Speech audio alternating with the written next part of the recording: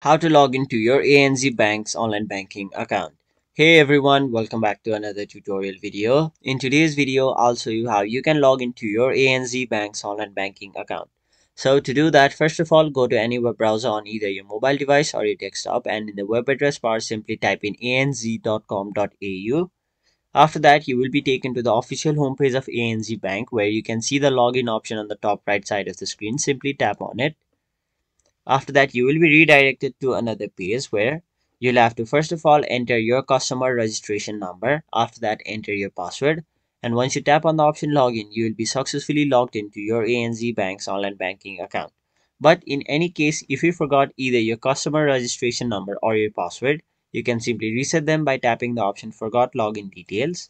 After that, you will be redirected to another page where you'll have to answer whether you know your customer registration number or not. So if you know your customer registration number and simply want to reset your password, tap on the option yes, I know. And then you will have to enter your customer registration number over here and then tap on the option next.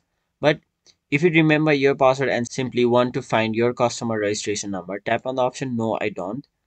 And then you'll have to tap on the option next. And then once you follow all the steps provided to you, you will have successfully recovered your customer number.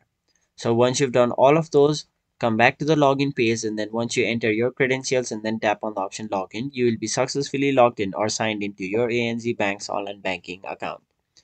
So that was it for this video. Hope this video was helpful to you guys and if it was make sure you like this video and subscribe to our channel so that you don't miss out on further videos such as these.